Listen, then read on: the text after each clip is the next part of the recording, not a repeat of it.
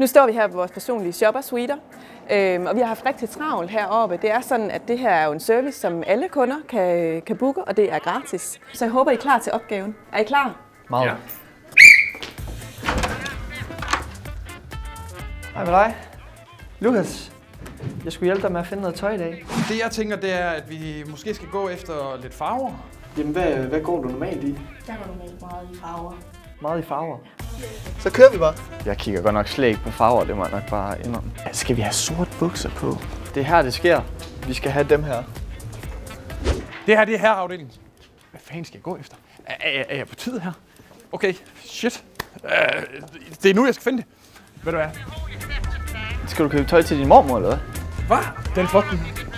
Der er sgu da. Jeg kan godt se potentialet. Der skal det. Tada! Det første sæt, det er de her. Ja. Ja. Skal jeg gå ud? Det, Ja. det synes jeg. Ja. Nu har I hjulpet vores øh, to kunder. Hvordan var det? Øh, en udfordring, vil jeg sige. Jamen, det er jo meget forskellige øh, valg, I har, I har gjort her, og det kan man jo også øh, se. Men øh, den hårde, men retfærdige dom må være, at det er jer, der løber med sejren. Sådan. Jeg tænker ingenting. Jeg er i panik.